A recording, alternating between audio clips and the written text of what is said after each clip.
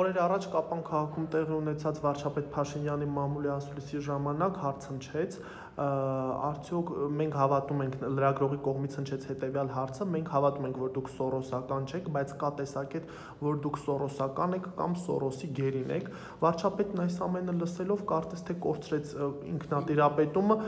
մի շարք վիրավորանքներ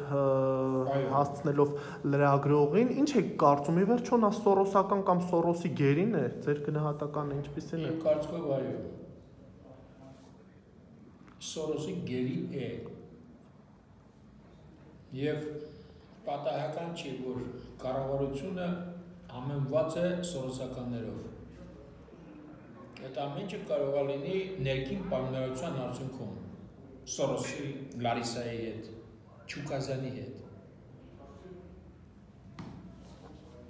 Ծննդատներից խոսեցիք, դու նշում եք, որ ծնելությունն են նվազել, այդ իսկ պատճառով ներկայիս իշխանությունները փորձում են լուծարել ծննդատներ, բայց նրանց հայտարարությունն այլ է, նրանք ասում են, որ պարզապես ծննդատները չունեն, այսպես ասած, բարենպաստ պայմաններ, սակայն սեռափոխված կնոջ համար ֆինանսավորում են, որպեսզի ֆիլմ նկարեն, այսինքն բյուջեն ըստ էության այդքան էլ դատարկ չէ։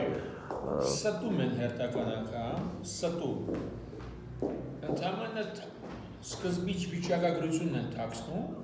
հետո այդ ծնդկաների հաշվին գումար են ցանկանում խնայել։ Ասենք իրենց հաճույքների վրա ծախսելու համար։